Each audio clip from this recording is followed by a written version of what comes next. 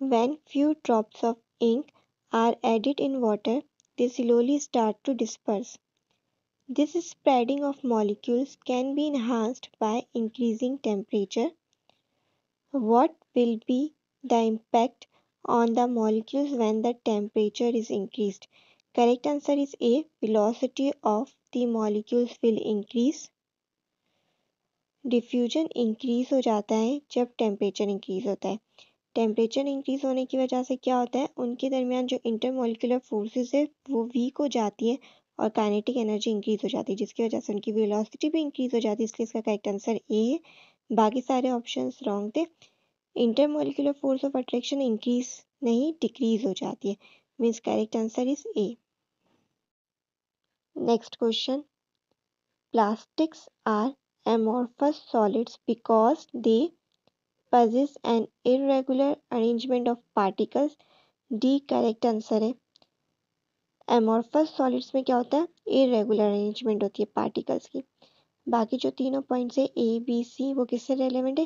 Crystalline solid से। That is they have sharp melting point they can be broken along definite planes maintain a three dimensional geometrical shape ये तीनों points किससे relevant थे? Crystalline solid से।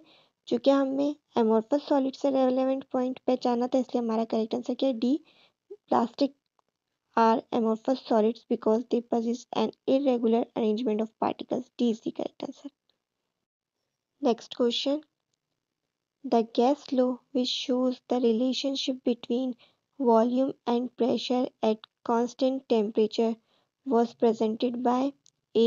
Robert Boyle Robert Boyle ने observe किया था volume of a given mass of a gas is inversely proportional to its pressure provided the temperature remains constant तो correct answer is A that is Robert Boyle At constant temperature, If the volume of a gas in a container is reduced to half, then the pressure on the gas will Robert Boyle's ने ये law दिया था या observe किया था? Volume of a given mass of a gas is inversely proportional to its pressure provided the temperature remains constant तो volume और pressure क्या है? एक दूसरे के इनवर्सली प्रोपोर्शनल है। एक अगर रिड्यूस होगा तो दूसरा क्या होगा? इंक्रीज हो जाएगा। यहाँ पे कह रहे हैं वॉल्यूम क्या हो रहा है? रिड्यूस हो रहा है। तो प्रेशर क्या हो जाएगा? डबल हो जाएगा। तो इसलिए जो इसका करेक्ट आंसर है वो क्या है? ए है। बाकी सारे ऑप्शन में क्या है रिड्यूस हो रहा है, वो तो पॉसिबल नहीं है क्योंकि दोनों एक दूसरे के इन्वर्सली प्रोपोर्शनल है तो अगर वॉल्यूम रिड्यूस हो रहा है तो प्रेशर तो रिड्यूस हो ही नहीं सकता था इंक्रीज होगा ना ही सेम रहेगा तो इसलिए हमारा करेक्ट आंसर है A that is pressure on the gas will be doubled because the volume is reduced to half. Next question.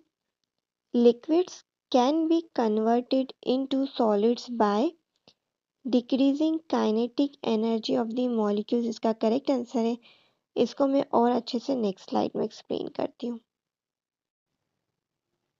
जब हम गैस मॉलिक्यूल्स की काइनेटिक एनर्जी को डिक्रीज करते हैं तो वो लिक्विड्स में कन्वर्ट हो जाते हैं और जब हम लिक्विड की काइनेटिक एनर्जी को कन्वर्ट करते हैं तो वो सॉलिड्स में कन्वर्ट हो जाते हैं।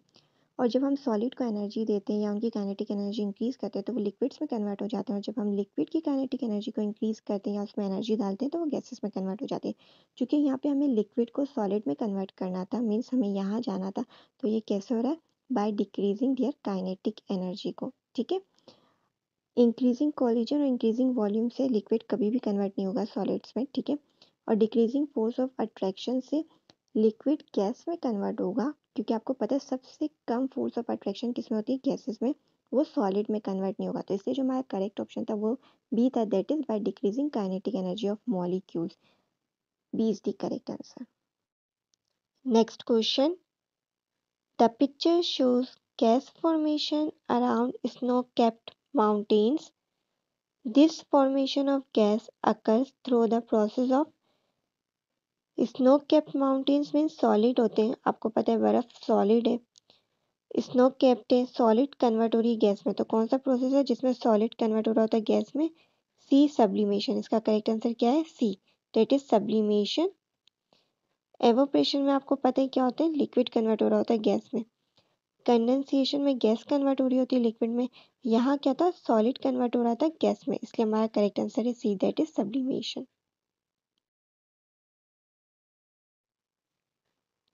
In the given diagram, which of the following represents the process of evaporation? Evaporation में क्या हो रहा था लिक्विड कन्वर्ट हो रहा होता है गैस में।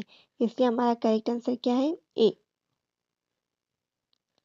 बी में क्या हो रहा है? गैस कन्वर्ट हो रही है। लिक्विड में मीन्स कंडेंसेशन सॉलिड कन्वर्ट हो रहा है। लिक्विड में मीन्स मेल्टिंग लिक्विड कन्वर्ट हो रहा है। सॉलिड में मीन्स फ्रीजिंग तो करेक्ट आंसर इज़ ए जिसमें हमें एवोप्रेशन का प्रोसेस शो करे। Means A is the right answer next question which of the following statements about the behaviour of gases is false gases are easily compressed gases occupy all available space gas particles possess very high kinetic energy ये true statements हैं।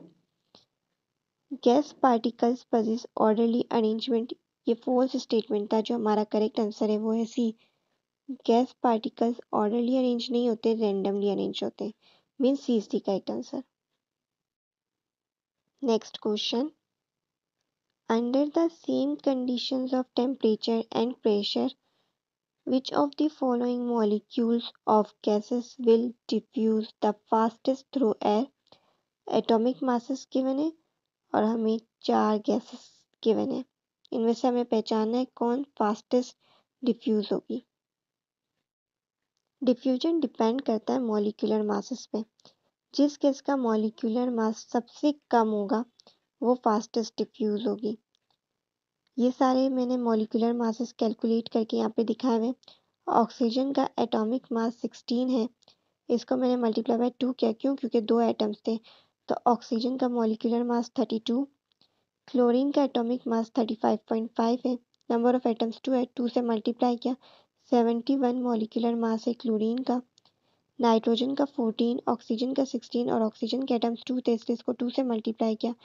32 plus fourteen is equals to 46 nitrogen dioxide का molecular mass 46 है। Carbon का 12 hydrogen का one और चार atoms है hydrogen के लिए। इसलिए मैंने इसको फोर से मल्टीप्लाई किया। Twelve plus four equals to sixteen तो सबसे कम किसका मोलिकुलर मास था? डी का। इसलिए हमारा करेक्ट आंसर है डी जिसका मोलिकुलर मास सबसे कम होगा वो फास्टेस्ट डिफ्यूज होगी। Means D is the correct answer